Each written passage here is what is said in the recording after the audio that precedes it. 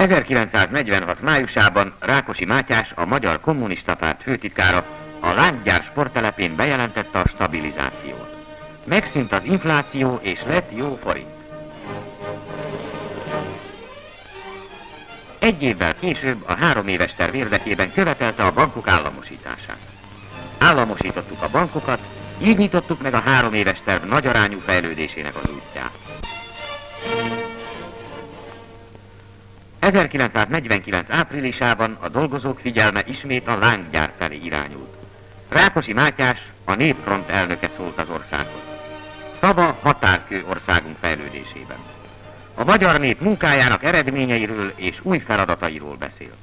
Eddigi munkánk eredménye, romok helyén virágzó élet, urakországából dolgozók hazája.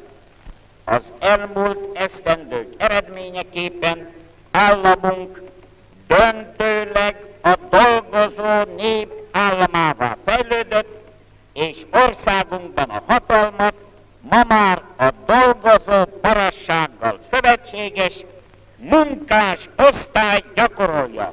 Ezért nézünk nyugodtan a választások elé, mert biztosak vagyunk benne, hogy eddig elvégzett munkánkat a dolgozó nép helyesli és jóvá hagyja. Kedves elvtársak, öt éves tervünk célkitűzéseit mi már nyilvánosságra hoztuk. Elsősorban meg akarjuk gyorsítani hazánk iparosodását. Meg akarjuk szüntetni mezőgazdaságunk elmaradottságát, és ezzel együtt fokozatosan le akarjuk építeni a város és a falu közti különbséget.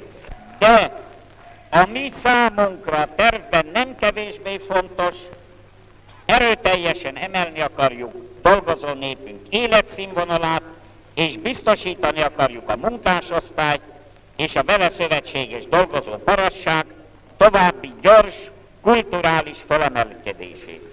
A közös lista természetesen közös programon alapszik, és azokon a közös teendőkön, melyekben minden magyar demokrata megegyezik az öt éves terv megvalósításának és a béke megőrzésének szükségességén.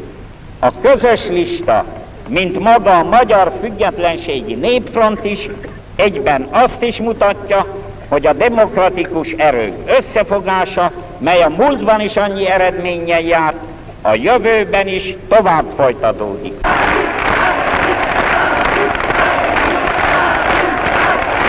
Amit Kossuth, Petőfi, Táncsics százesztendővel ezelőtt zászlajukra tűztek, de nem tudtak megvalósítani, azt mi most végre tudjuk hajtani, és tovább tudjuk fejleszteni, ha élünk a történelem adta lehetőségekkel.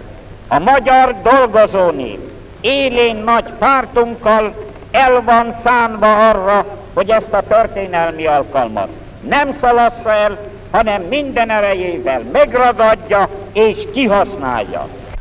Abban a mértékben, ahogy rendet csináltunk saját portánkon, ahogy megszilárdítottuk a népi demokrácia alapjait, olyan mértékben nőtt meg hazánk nemzetközi súlya és tekintélye.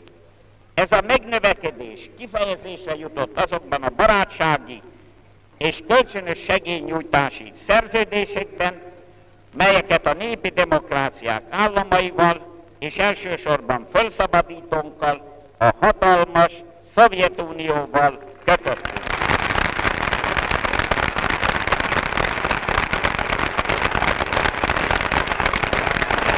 A választáson nem csak arról dönt a magyar nép, hogy helyese, amit az elmúlt esztendőkben tettünk, hogy jó-e az öt éves tervünk, és hogy támogatja-e következetes békepolitikánkat, hanem arról is, hogy akar-e élni ezzel a történelmi lehetőséggel, mely hosszú századok óta először kínálkozik számára. Ez a mi választási programunk, és biztosak vagyunk benne, hogy a magyar nép egy emberként áll mögéje, mert érzi és tudja, hogy hazánk így lesz boldog, erős, művelt és szabad.